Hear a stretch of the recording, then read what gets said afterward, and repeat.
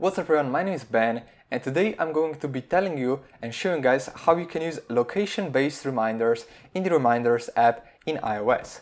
Now I've been re using reminders for a long long time and my favorite feature is that you can be reminded when you arrive at a, at a certain location, maybe when you arrive home, uh, when you arrive at work, um, that you need to do a certain task. That is by far my favorite feature but not many people know about it, so today I'm going to be showing you how to use and activate this feature.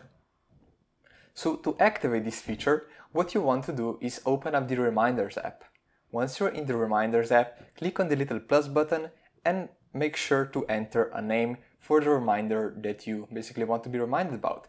Then click the plus button to add a specific or uh, custom location, it will say remind me when I get to location, something along those, those lines, and then simply enter the location, whether that's your home address, whether that's your work address, um, maybe a certain place that you're going to, whatever or when, uh, wherever you, are, uh, you want to be reminded of a certain uh, thing.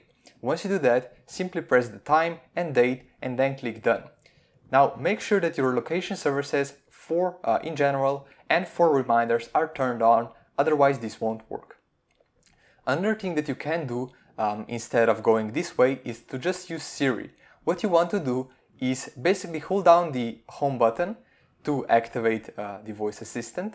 Say, okay, remind me when I get to a certain location. For example, remind me when I get to work to uh, send off the email to my clients. Something along those lines and Siri will then activate all the features and um, you will be reminded when you get to the certain location.